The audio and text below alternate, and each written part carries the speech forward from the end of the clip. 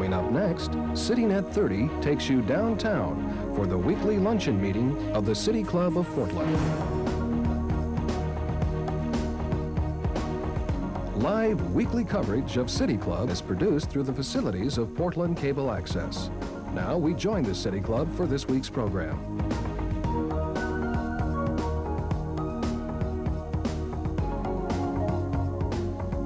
President of City Club, welcome to our program. Today it's on the subject of health care and patients' rights. Our special guest today is the President of the American Medical Association, Dr. Thomas Reardon. New member today is Patricia Rupert, an acupuncturist at the West Side Center for Natural Medicine. Patricia, where are you? Over there. Good. Thank you.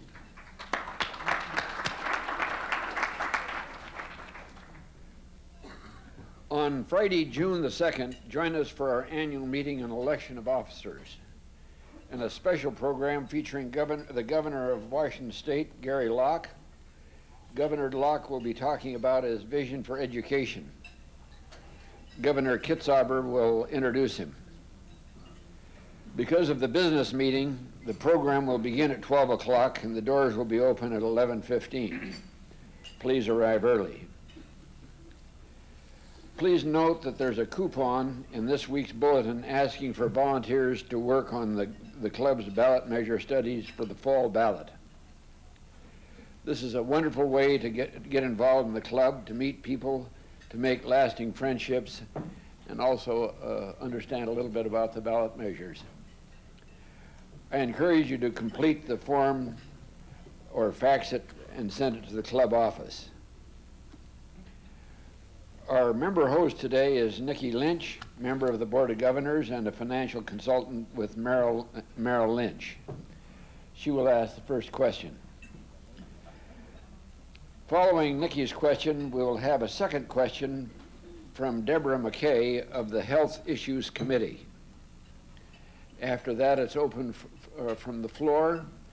If you have a, a question, please come to the microphone, or if you'd like to put it in writing, uh, raise your hand and a staff member will bring it up to the front.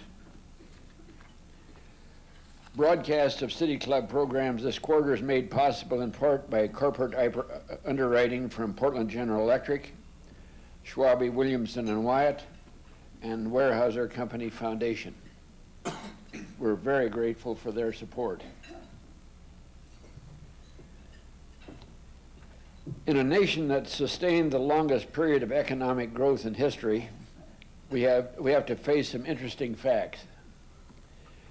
Nationwide, the number of health, uh, the, the number with health, with no health coverage has increased from 14 to 16 percent in the last nine years. That's an increase from 35 to 44 million. In Oregon, the percentage has gone from 11 percent, 18 percent to 11 percent uh, in large part because of the Oregon Health Plan. The controversy over the right to die has taken its toll in energy and polarization of our citizens. The cost of health coverage is shifting from the employer to the employee. The cost of drugs and thus the cost of health care is rising at a rate higher than inflation. Alternative medicine is getting serious consideration health maintenance organizations are a fall guy for insensitive or poor health care.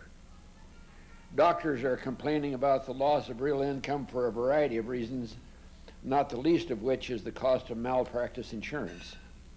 And the litany goes on. At the center of many of these issues is the American Medical Association and the doctors that it represents. Tom Reardon is president of the association he served on the board of trustees for 10 years and has been in practice in medicine for over 40.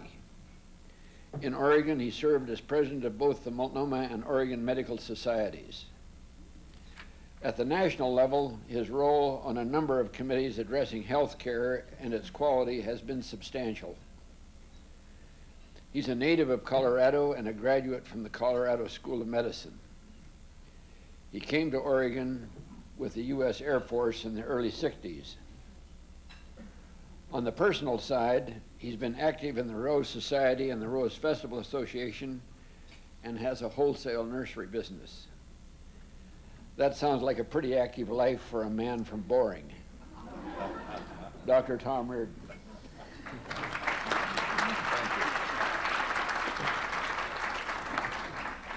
Well, thank you, Mr. Anderson, and thank you, ladies and gentlemen. Uh, as you can imagine, when I'm introduced around the country coming from Boring, Oregon, it does get some, uh, some laughs, but I assure everybody that we try and keep it that way. Uh, because for those of you from Oregon, you know that Boring hasn't changed, at least in the last 40 years, uh, maybe with some few minor changes. Uh, but it really is an honor for me to be here this afternoon and represent the American Medical Association and speak before the uh, City Club. Wherever I travel, you must know that people ask me about Oregon, they ask me about Portland. Uh, they want to know about the city, they want to know about the people and the life here, and I tell them it's wonderful. And I'm probably not the Chamber of Commerce's best representative because I, tell them how wonderful it is, and those two or three days it doesn't rain, it's spectacular. Um, but I think it is a marvelous environment, and of course, uh, we all appreciate it, and we have the benefits of living here. I, I came to Portland, as, as, Mr. Anderson said, in 1960 with the Air Force, and defended Portland from attack for three years. And uh, I, I, ran, I, fell in love with the country, and of course, the rest is history. I found a place to practice, and, and my life has been an Oregonian. You know, I, uh, in looking back over the City Club activities in January, I, I know you heard from uh, Mayor Katz and sometime this year from uh, the Governor, Governor Kitzhaber, and they spoke of uh, some of their plans for making the city and the state a better place to live, a better environment. Uh, they talked about uh, some numerous programs that they would like to embark upon to improve the quality of life. But I think what struck me as I looked at what they talked about was an unspoken assumption by both of them and that unspoken assumption was that each of us will be healthy and active and have a good quality of life. And I think sometimes we take that for granted rather than understanding uh, what has happened in this healthcare system over the last hundred years. And I, I will talk a little bit about that today. Because good health, an active life, and a good quality of life just doesn't happen. Sometimes we are born with good genes, but I think many of you in this room will think back on what the healthcare system has done for you and, and the, uh, your ability to enjoy a good quality of life right, life right now uh, really depends on that healthcare system. And that leads me to what I would like to talk to you this afternoon, which is what the American Medical Association is doing to improve the health of the public, the health of this nation, to maintain and maintain and improve the quality of life that we have, and what the healthcare system has done to increase the longevity, and improve the quality of life over the past century. And of course, I think we'll look as we talk about this to the future also. But first, let me start with a new venture for the American Medical Association, which we started this last uh, December. And that was a venture into presidential politics, which is something we had never done before. And we did this in a rather audacious manner. We had the audacity to write all of the candidates running for the President of the United States and, and say to them, we don't think that any candidate should be elected or can be elected unless they support the health care issues which are important to the American people or the patients of this country. Now, in that letter, we asked them six questions which revolved around three issues. And those three issues were Mr. and Mrs. Candidate, if elected, would you sign into law a strong patient bill of rights which will protect the patients in this country? Mr. and Mrs. Candidate, do you, uh, will you work for and you believe in health care coverage for all Americans and will you work to find a solution so every American has coverage for health care? And finally, Mr. and Mrs. Candidate, do you have a program or an idea of how to reform Medicare to make it a stable program for our children and our grandchildren? Now, those are all pretty big issues, but we think those are national issues and they need to be addressed.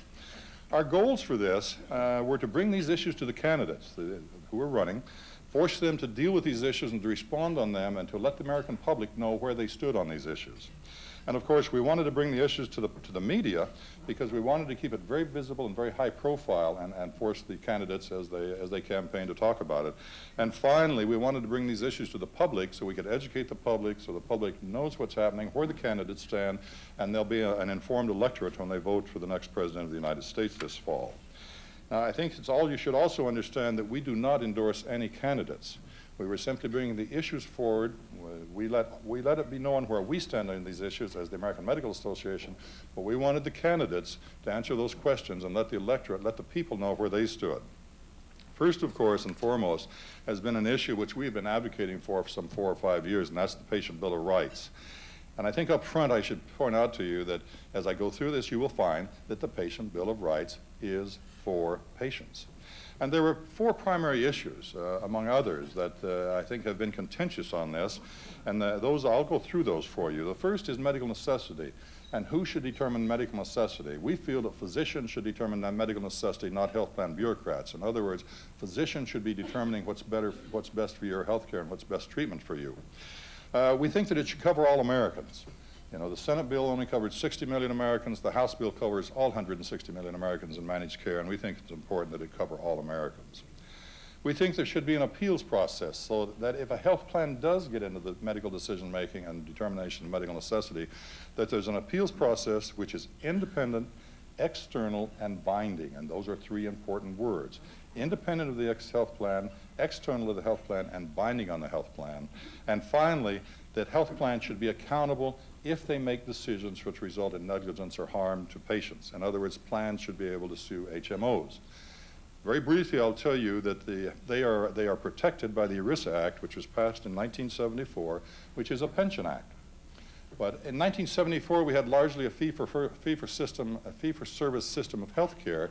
And the worst thing that could happen to you as a patient is the insurance company might refuse to pay. I could provide the care, you would get the care, and then they would refuse to pay. And in that law, it says that the patient can sue to recover the cost of the service that they refuse to pay for. Now, if you fast forward to 1999, we have largely a managed care system, and the worst thing that can happen to you is they can deny the care. Yet the law only allows you to sue for the cost of that care. So if they make a decision which results in egregious harm to you, the only thing you can sue to recover is the cost of that care. Now, on the other hand, if the health plans make a decision that, says you can't have that care, and uh, you can still sue me, the physician, if something happens to you.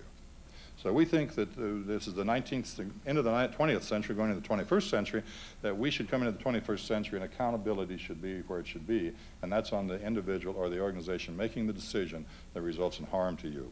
Now the Senate passed a very weak watered down bill. It protected insurance companies, and we think put money before patients and profits before patients. But the House bill, the Norwood Dingell bill, is a very strong Bill of Rights, which does pass the four protections I've talked to you about. And uh, we think it's very important that the House version of this bill be passed. We are now, there's an now joint conference between the House and the Senate to iron out some differences. And we hope that this will be back uh, before, for a vote before the recess.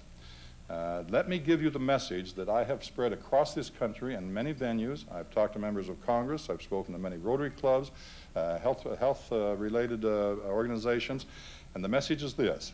If Congress does not pass a strong Bill of Rights before adjournment in the year 2000, we will make this an election issue this fall.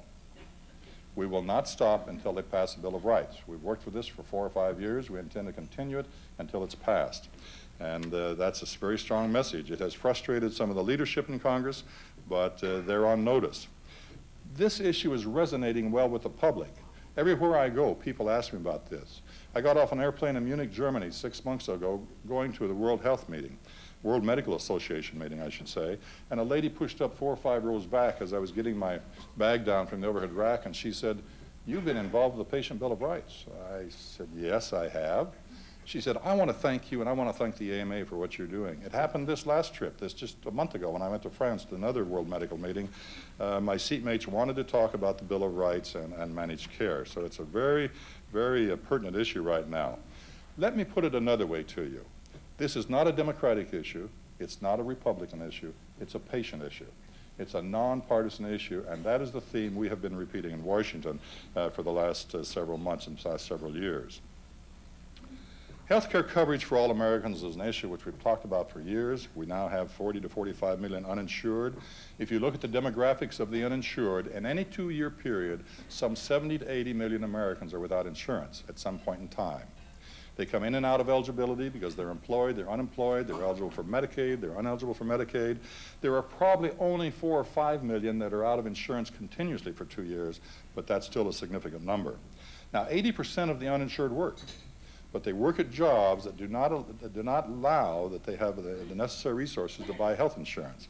These are hardworking, honest, good Americans who are trying hard to do well, but they do not have the resources to afford health insurance, and we need to do something about it. We in the, back, in the past, we have provided health care to these people through what we call the cost shift or, or charity care. But now, because of managed care and the pressures on cost in the system, it's becoming increasingly more difficult for the physicians and the hospitals in this country to provide charity care. Dr. Paul Ginsburg, an economist who has a rather large Robert Wood Johnson grant, had a press conference about a year and a half ago, which I participated in. And Paul is, is longitudinally following 15 cities in this country to see what's happening in the healthcare and, and the changes. And he suddenly realized that in those cities or those areas where there's a high penetration of managed care, it's becoming increasingly more difficult to provide the charity care. The resources just aren't there. And the employers have oftentimes said, we want to cover and we want to pay for what our employees use, but we don't want to pay for anything else. And that's getting the crunch is coming, so we are, we're going to have to deal with the uninsured.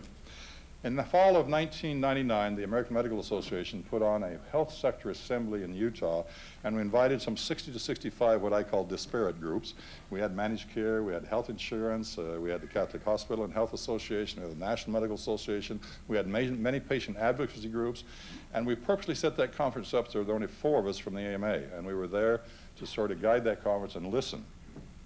We were not looking for answers or solutions. What we were looking for is did that group feel that this is the time that we could, should look at this, and was there, was there a will or a commitment to deal with the uninsured?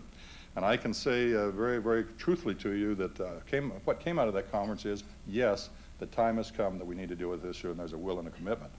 Now, the reason I stress this is that the American way is to uh, decide you're going to do something. Make a will, make a commitment. When we wanted to put a man on the moon, we found a way to put a man on the moon. If we want to solve the health care uh, uninsured issue and health care coverage for all Americans, we will find a way to do that. Uh, let me share with you four quick principles that came out of that meeting because I think they're important. The first principle is this, that health care coverage is an investment in the infrastructure of our country, its people, and we should look at it as an investment, not necessarily a cost or an expenditure. Secondly, that we should define a basic benefit package that all Americans should have.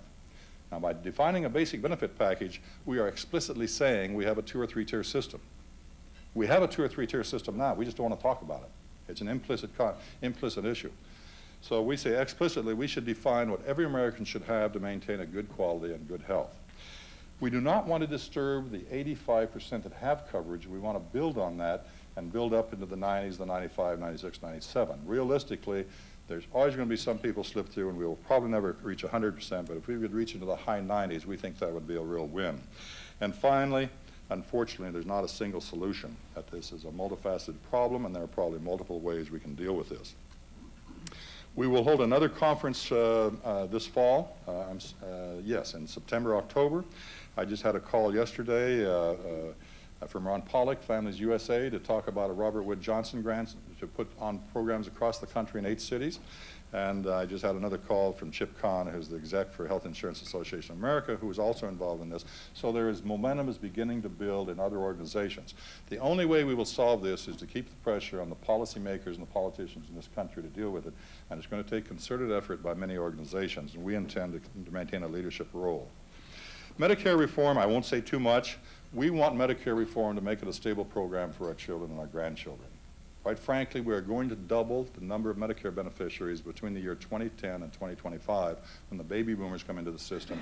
And if you think we have problems with funding Medicare now, we will have monumental problems by the year 2025. We really need to look at that. Technology is going to continue to give us more and better tools, to do more and better things for everyone. I was in Florida recently and in a few moments I'll come back to the technology issue, but we're better than in Florida with all the seniors to, to point out to them what a wonderful life they have, and large part because of good health care uh, and their longevity and the quality of their life. Uh, let me just parenthetically talk about pharmaceutical benefits, which has been a major issue. The American Medical Association supports the concept of pharmaceutical benefits for senior citizens, but we think it ought to be done in the context of overall Medicare reform, not in isolation. You try and do this on the budget surplus, which is here today, it may be gone tomorrow. And in five years, if there's no budget surplus and you have promised pharmaceutical benefits, you are not going to take it away. You're going to have to take that money from other programs in order to fund that. So we think it should be done in the overall uh, context. Now let me share some experiences with you as I traveled, particularly on the uh, uh, National House Call and our venture into, uh, into presidential politics. One of the first uh, trips I took was into Des Moines, Iowa.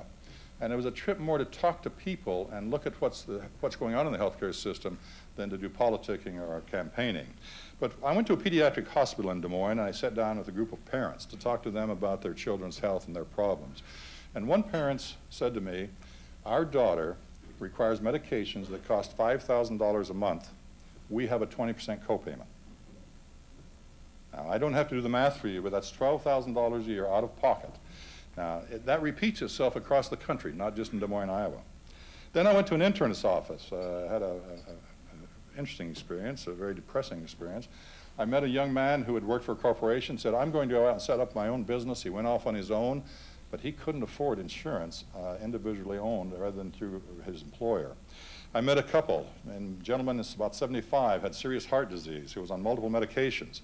Now, his wife in her 70s had to go back to work in order to buy the medications to maintain that, her husband. But I think the story that was so telling was a gentleman who looked at me and he said, I'm 62 years old. I lost my job to a younger man at age 59 and my health care coverage. Last month, I was diagnosed with a lung tumor. I have to make a decision whether I want to spend all my family's resources in order to buy or in order to pay for some uh, radiation or chemotherapy to buy an extra year or two of life, or whether I want to leave a home for my wife when I die. Now, he agonized, and he and his wife had many conversations with that internist, and ultimately, the decision was to forego medical treatment. Because in the present environment, you have to spend down to poverty level to be eligible for Medicaid. And his worry was his family and his wife. I've told that story many times, and I, I quite frankly always say no one in the United States of America should ever have to make that decision. But those decisions are made across this country each and every day.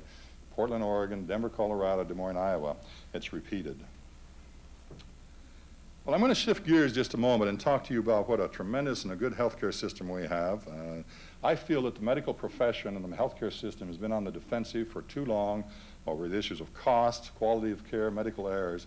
That's not to say that we can't do better. We can be more efficient. We can practice better quality medicine. We can better quality of care, and we can decrease medical errors. But I think we have a marvelous story to tell, and I'm going to share some experiences with you uh, as I go through the end of my talk. If you look back at the ninth the last century, from 1900 to the year 2000, in 1900, physicians could do little more than sit by the bedside and watch patients die. The first major scientific breakthrough in the healthcare system was the discovery of insulin in 1920. In the 20s and 30s, along came immunizations, and we could finally prevent some disease. In the 40s and 50s came antibiotics, and lo and behold, physicians could cure something. That's only 50 years ago that we finally begin to cure something. Now with the Genome Project and genetic mapping, genetic engineering, we are on the verge of predicting and preventing disease, preventing disease. But, you know, if you think healthcare costs have been a problem up until now, look into the future. I was at the World Medical Meeting last fall when a vice president from Glaxo Wellcome talked to us about the genetic mapping, genetic engineering. And she said, in the future, doctors won't just prescribe a beta blocker for a patient. They will get the genetic map to find out what beta blocker meets that patient's needs and which will work the best. That's the type of science we're looking at in the future. Uh, we are on the verge of some major breakthroughs. I think it's exciting. And I tell medical students, I think this is the greatest time in the world to go into medicine. You know, I'm on the twilight of my career, but they're just beginning. And I think what they're going to be able to do in the next 20, 30 years is going to be phenomenal. And I look at the changes that have occurred from 1960 when I went into medicine. But let's look at other uh, issues, and the technology which has improved the quality of life. Uh, the, that 1950, the years 1950 to the years 2000, we just didn't have antibiotics. We developed CAT scans, MRIs, non-invasive technology. Uh, I can tell you in the 1960s, 50s when I interned, uh, in order to do a, a cerebrogram, angiogram of the brain, you had to inject multiple times dye into the carotid artery, take multiple pictures. There was always morbidity. There was always damage. Now you have no invasion, uh, invasive techniques. It's non-invasive. You go in and get a CAT scan or MRI, gives you more uh, information and it doesn't harm you. We now have joint replacements. We now have cabbages or coronary artery bypass. We have angioplasty. We have endoscopy. All this is, while it's contributed to the patients, it has contributed to the economy, and I will come back to that. But let me tell you a story about some of my patients in the 60s, and then I'll relate it to the present day. My elderly male patient in the 1960s with angina was oftentimes confined to home or with very limited activity. And now I send him out for a cabbage, coronary artery bypass, or angioplasty, and he's either back to work or he's out on the golf course. My elderly female patient with a worn out knee who was on a cane or a crutch, who could barely get around out of the house, maybe to the store occasionally, I now send out for joint replacement. Now they fly to Reno with their girlfriends for the weekend. If you had, uh, if you had polyps in your colon in 1960, in order to get those polyps out, you would have an 8 to 12 inch incision in your abdomen. Now they go up with a little scope and they snake them out, and you either drive home or go home, a friend takes you home, but you go back to work the next day. If you had cataracts in the 60s, you couldn't operate on them until they were, quote, mature and you were practically blind. And then when you were operated on, they gave you Coke bottle thickness glasses and you still couldn't see. Now they pop those lenses out, they put new ones in, they give you glasses and your vision's almost perfect. Patient with asthma. Patients with asthma at the turn of the century, that was an acute illness and patients died in days or weeks from asthma. When I went into practice in the 50s, we did better. We could control it pretty well. But now, with today's technology and pharmaceuticals, asthmatics can lead almost a normal life, and many times a normal life and, and normal longevity. While all this contributes and improves the quality of life, it contributes to the economy. About a month or six weeks ago, I was returning to Portland from Washington, D.C., and uh, fortunately my seatmate happened to be Senator Mark Hatfield. And uh, we had a nice visit. We always visit when we see one another. But he told me as I talked about this of a study he had just done, and he had commissioned some economists at the University of Chicago to evaluate what the impact of a healthcare line longevity has been on the economics of this country. In other words, the longevity, we've doubled the life expectancy from the year 1900 to the year 2000. It's gone up 10 years from 1960. What the improvement in the quality of life and increased pro productivity has meant to the economy of this country. And those economists have estimated that the longevity, the increased quality, the productivity contributes some two and a half trillion dollars a year to our GDP. And that's on an economy that has nine trillion. Somewhere about 25 to 30 percent can be contributed back to what the healthcare system has accomplished. And you might ask me, Dr. Reardon, how can that be so? Well, let's talk about it.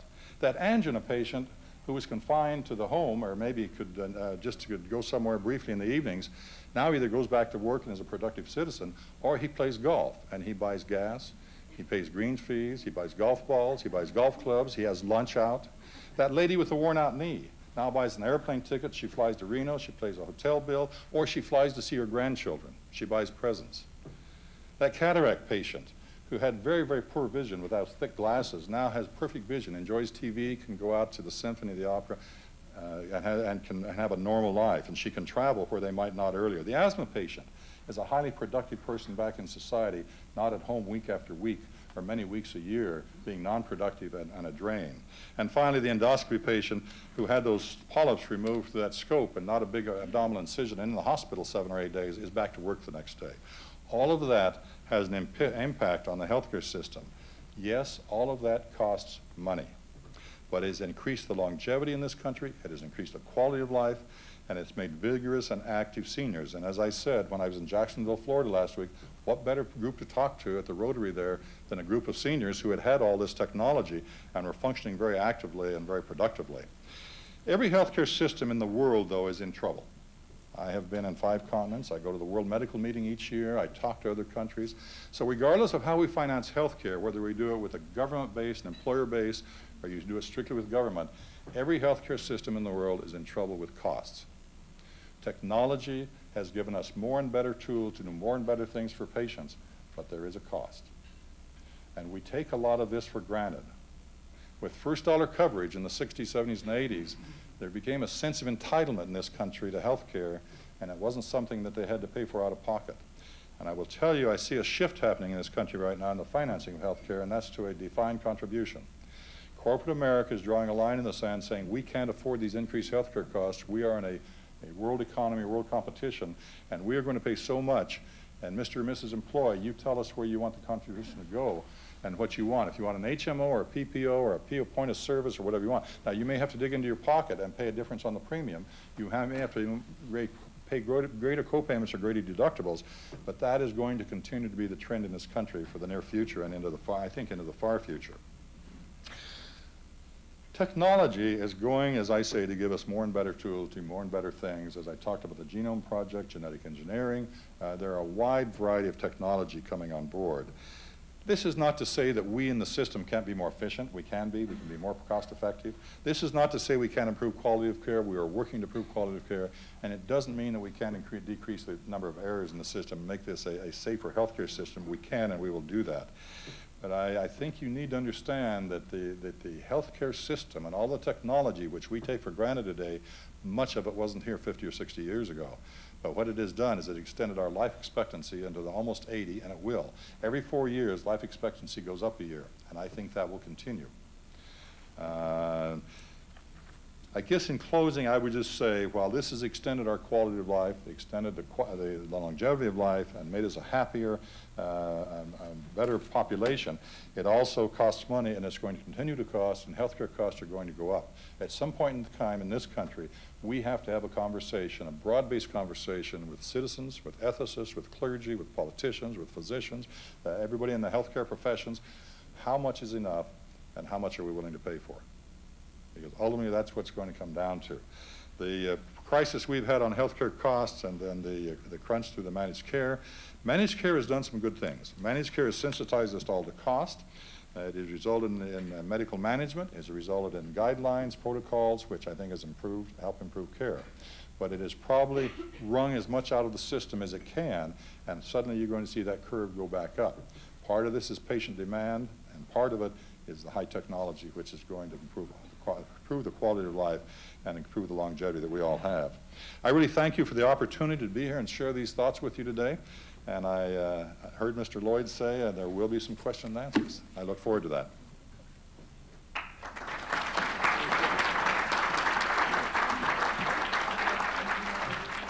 thank you thank you very much. Uh, and perhaps I'm sort of restating what you were saying at the end, but it seems to me the way I view it is that there's sort of a collision course of, you know, we were so uh, worried about healthcare costs and the big demand and that sort of brought on the HMOs and the success of the HMOs.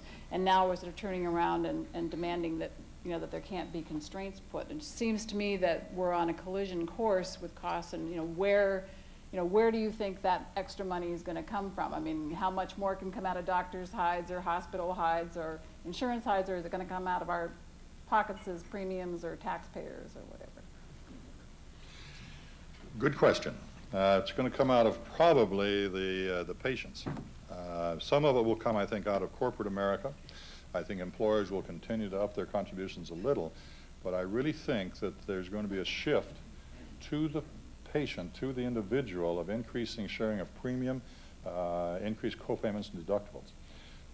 I think we're going to re-engage the demand side of the equation so that when patients demand something, they feel the impact of their demands. It's very easy to come into a physician's office and say, you know, I've been having headaches, I've had this, I'd like to have a CAT scan and an MRI, without ever realizing that's $400, $800. Now, the, the fine line that I think we face here is that while I'm a firm believer that everybody should pay something every time they impact the healthcare, they access the healthcare system, we don't want that to be such an impediment that people would not seek health care. That's the fine line. But I think that corporate America, while they will contribute, continue to increase some, are going to uh, draw a line and say we can't continue to pay these premiums. Um, I think I'll leave it at that, but I think every healthcare system in the world is going to have to face this in some way. Hi, Dr. Reardon. I'm Deborah McKay. I'm on the uh, Healthcare Issues Committee. I'm also a pre-med student at Portland State University. Thanks for an interesting speech, and thank you very much for all your public service with the American Medical Association. Um, my question today is regarding medical education. What needs to change in the way that we select and train the next generation of healthcare providers? Specifically, how can we address the underrepresentation of minorities as healthcare professionals? And what about the traditional rivalry between allopathic and all the other disciplines in healthcare? Thank you. Um, I'm trying to think of the right. Okay, let me start out. Good question, and I think very timely, uh, Deborah. And I, congratulations on being a pre-med student. I think I think you've made the greatest choice in the world. I uh, am always distressed to, when I hear physicians say, "Well, I wouldn't advise my son or daughter to go into medicine." I think it's great. I think you've made a great choice, and I wish you all successes. Uh, medical education. Um, uh, there's going to have to uh, be some support of medical education. I think I'm going to make a comment, which uh, may come back to haunt me, but I'll do it anyway. Um, what I noticed in the 70s and 80s oftentimes is that unless you had practically a four-point average, 3.8, 3.9, 4 point, you couldn't get into medical school. And the, the, product of what I saw from medical school as they came through the system, their intern residency, was that they were very bright. My goodness, they were bright. But their humanistic skills were not that good. And that I don't think you have to have all the four-point students in medicine. I think you have to be a good student. Um, I looked at my medical school class and I looked at the eight or ten at the top and the ones in the middle and the bottom. And I thought those were great students and great people, and they will probably do well. But you know, one became a dean of a medical student uh, school, one became a, a couple went into research. But those people in the middle who really were good uh, students, average students, but they had good humanistic skills. And I think that relationship is what we have to talk about. Uh, minorities is another issue. We need to make an uh, uh, attempt to, to get more minorities into school. I'm always a little concerned that when I see, uh, if you accept minorities in a medical school who can't get through medical school, you're not doing them a favor, nor are you doing the system of, of, of service. So I think academically, uh, they have to be able to prove that they can get through. Uh, the limited license practitioners or the conflicts in medicine, I think we need to recognize that limited license practitioners have a place in the system. And that we need to get away from these turf battles and arguing about money and say, uh, look, we all contribute to the care of the people in this country. Uh, and it should be done on their education, their competencies, and their skill level. And that should be how we say their, their scope of practice should be. Should be on their education, their competencies, and their skill level. Um, and I, th I, think if we do that, I think it can be a win-win for all. The interesting thing about this, the patients in this country are demanding access to the limited license practitioners and allied health practitioners. Actually, the people in this country pay about 30 to 35 billion dollars out of pocket to go to limited license practitioners and that's more money than spent on all primary care in the traditional healthcare system. Now, there's a message there. And you have to ask, why are they paying that out of pocket and going to these other practitioners? Well, uh, the message I keep giving the physicians is because they listen, they pay attention, they're interested, and they have good humanistic skills. We cannot hide behind technology and science. We've got to listen to people and communicate. Um, my name is Sharon Joy, City Club member. There's no issue that is more important to me and my friends that I've lived with for many years than the right to die. Uh, just to be free of fear. Not that we're going to take it up, anybody up on it, but just to have that right. Uh, to me, that's patient's Bill of Rights more than anything else. And we cannot go to Congress to ask for it but the Multiple Sclerosis Society is in favor of it and is trying to champion us.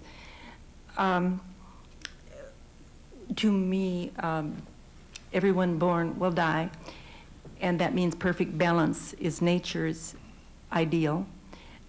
And longevity does not necessarily attach to quality of life. Uh, I have seen so many personally uh, where they have shown me the hospital bills for five days of miserable life. Or, uh, for instance, a lady of 80 who had a car accident could, had put in her file not to extend her life. So my question is, if the doctors are not willing to help us in this regard, um, um, can they at least not stand in the way of us having this right?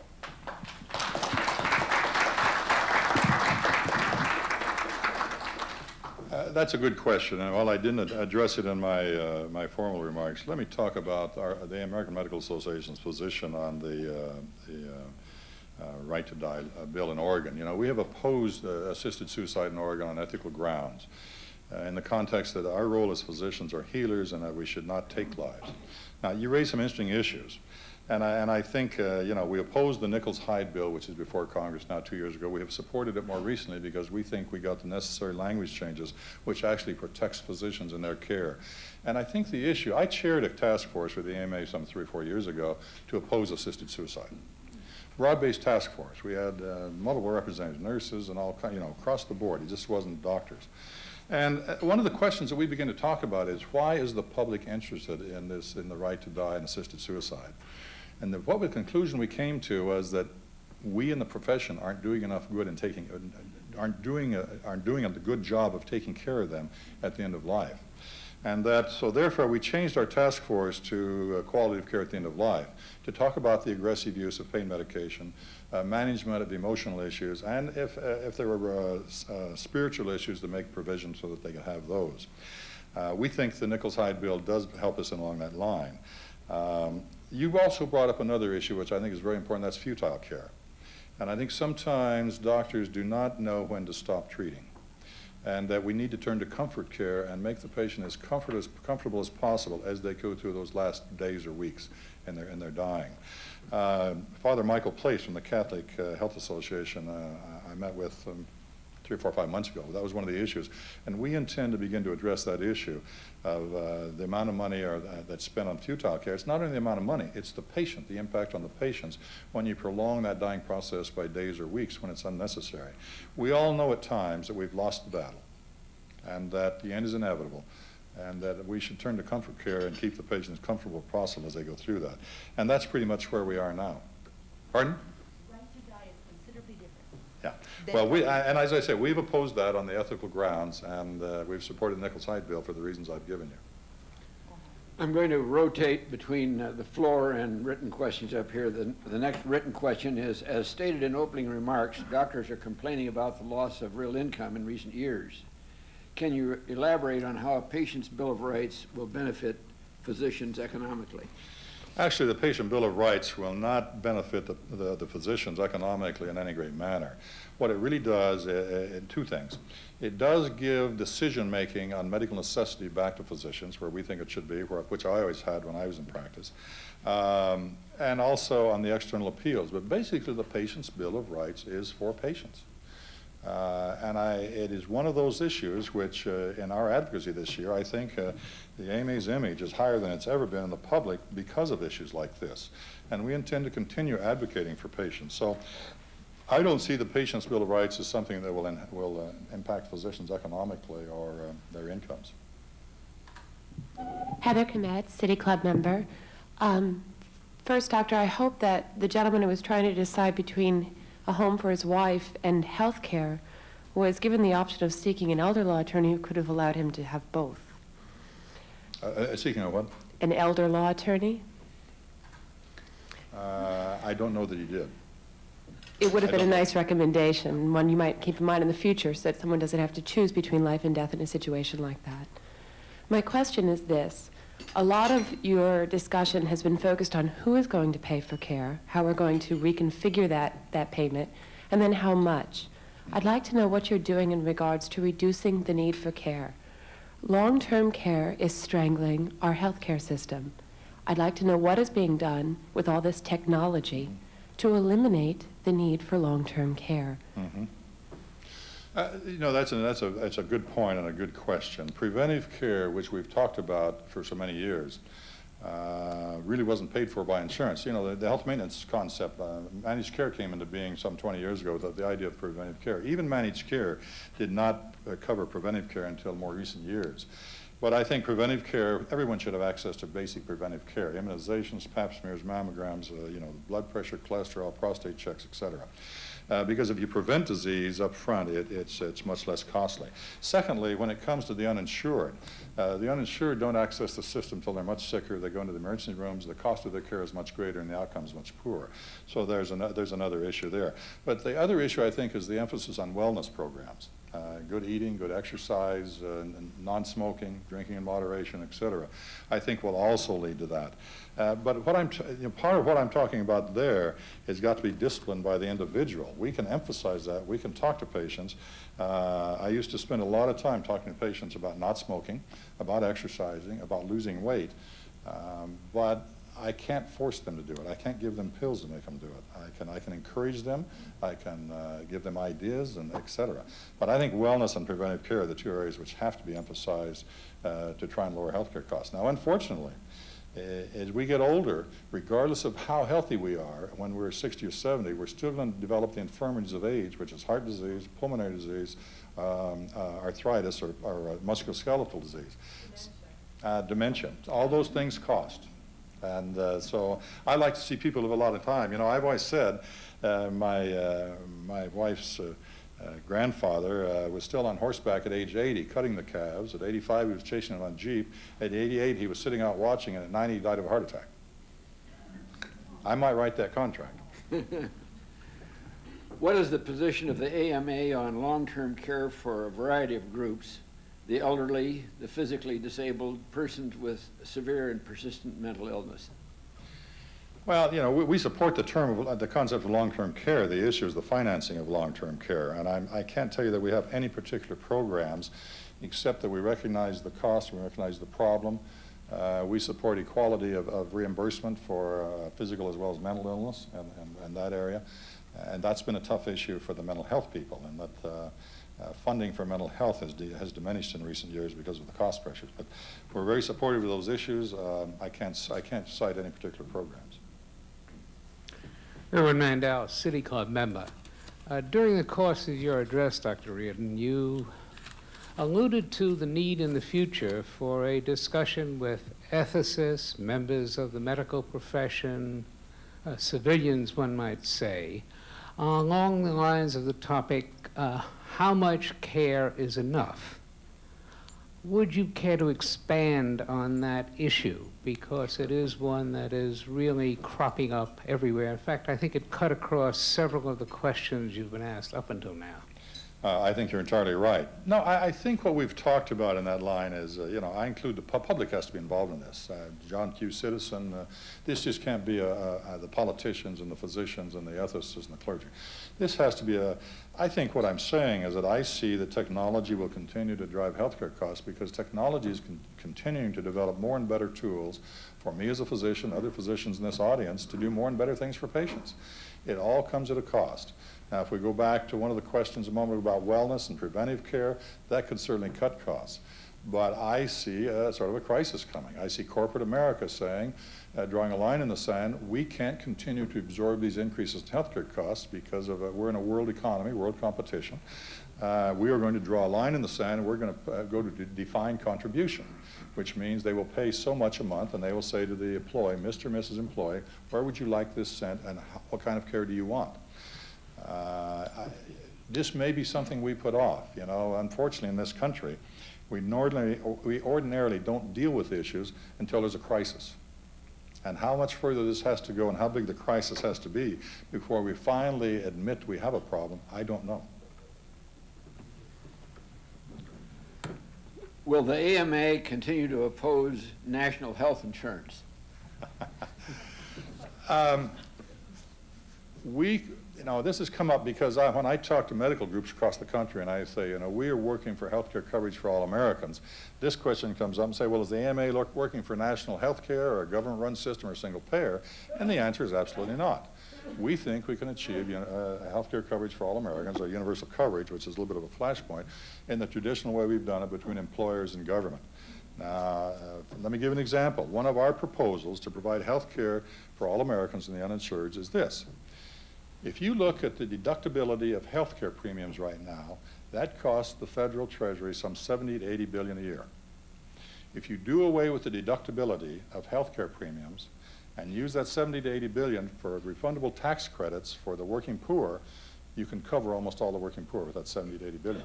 Now there's winners and losers.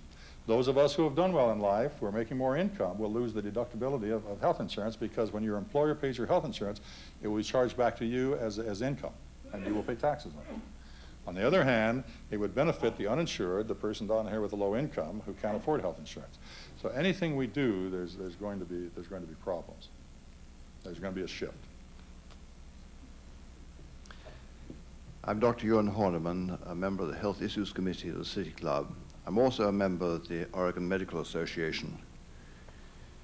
The American Academy of Medicine has found that 200 Americans die every day from preventable mistakes in hospital. That's malpractice. To put it into perspective, in one year, a third more Americans die in hospitals than died in the whole of the Vietnamese War. To put it more in perspective, it's the equivalent of an airliner plunging into the ocean every day of the year. It kills more people than car accidents, guns, and alcohol, even with the aid of the more measures students. Um, my question to you is, what is the American Medical Association doing in the way of working towards protocols which will prevent this? Uh, Dr. Horman, thank you. Uh, the Institute of Medicine report, which came out this past year talking about the medical errors, was based on some data developed by Lucian Leape and others at Harvard many, uh, several years ago. Uh, there's always some argument in the profession about how accurate that is, but nonetheless, there, there are a problem with medical errors in the system and preventable errors. And uh, in recognition of that, some three to four years ago, the AMA created the National Patient Safety Foundation, which is a broad-based foundation which we have spun off as an independent organization to begin to address the issue of medication errors, uh, uh, any type of error. Now, the issue is to identify the errors, discuss the errors, and then to change the system so that those errors don't take place. Um, one of the big debates we're having now is whether there should be mandatory reporting of all errors. And until there is some um, protection, as there is in the airline industry for reporting of errors, you're probably not going to get medical errors reported. Now, the President supported the concept of reporting egregious errors. And by egregious errors, I'm talking about you cut off the wrong leg, you operate on the wrong side of the brain. Just to give you an anecdote, the day I testified for Congress on this issue, on the front page of the New York Times, the headlines was, doctor operates on the wrong side of the brain for the second time. Uh, not, when you want, not when you want on the front page of the New York Times when you're going for Congress. We support uh, very clearly the Institute of Medicine's report. Uh, we think there are clearly many things we can do. Uh, there is a system uh, that we all know about that takes care of the egregious errors, and that's a legal system. But let's say you, there is an egregious error and there's a lawsuit. Unless there is some uh, non-discoverability of the discussions, physicians are not going to sit down and have a broad-based discussion on that medical error as long as it's open to the plaintiff's attorney. And so we have, we have, we have uh, advocated for peer review protection and non-discoverability of those discussions so that we can feel free to sit down and have those discussions and make the changes. What we don't want to do is drive this all underground and not talk about it.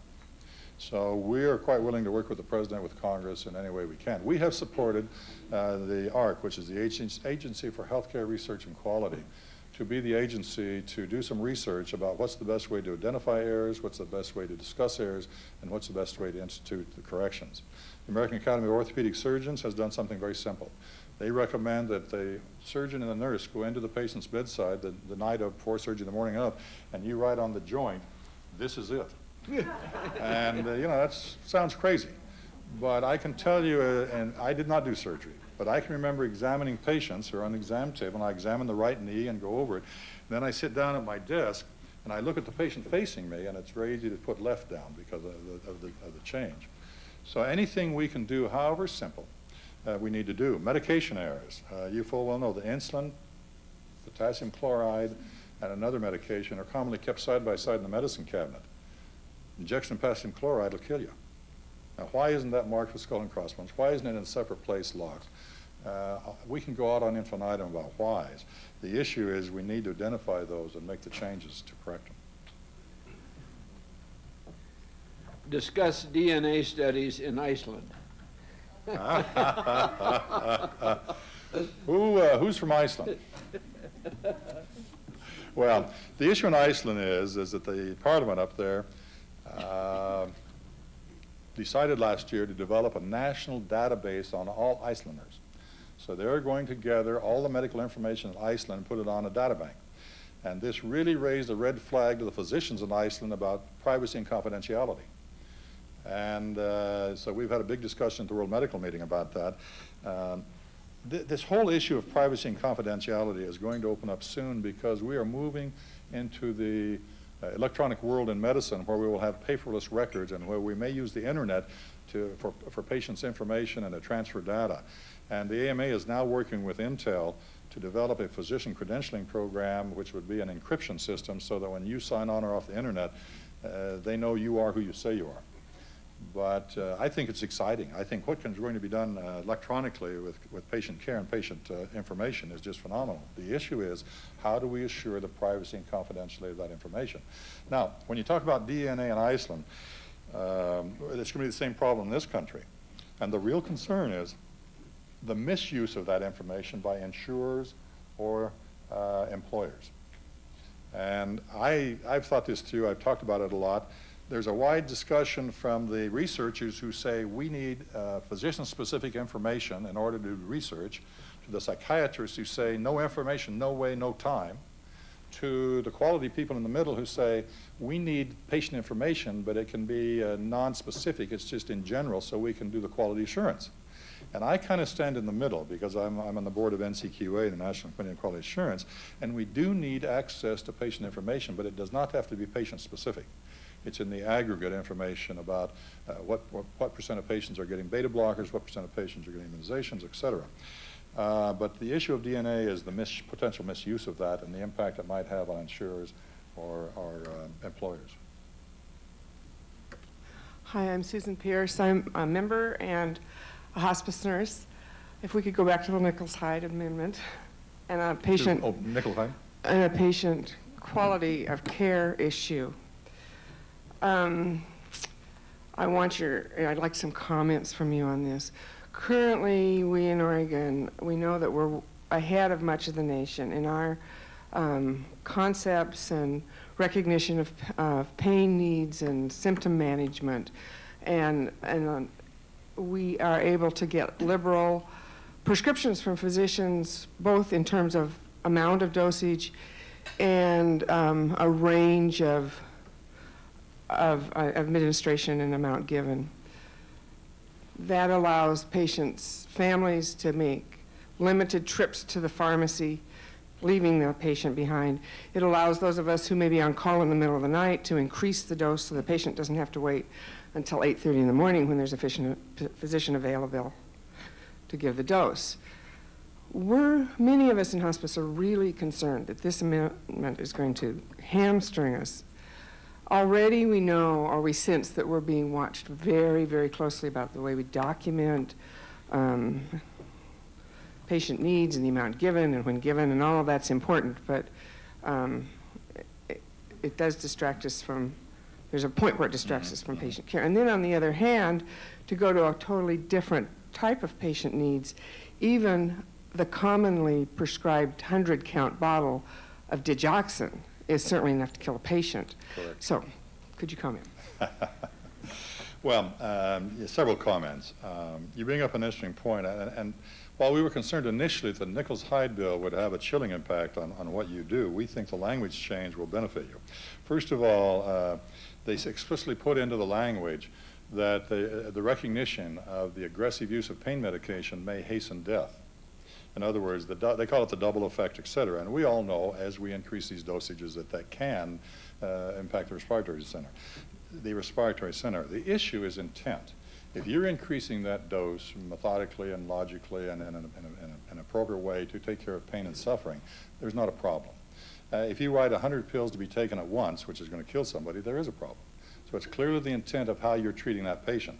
Now, the second issue is uh, the documentation we all have to document better everything we do. Physicians have to document better. You're going to have to document better. And I'm not talking about pain management. I'm talking across the board.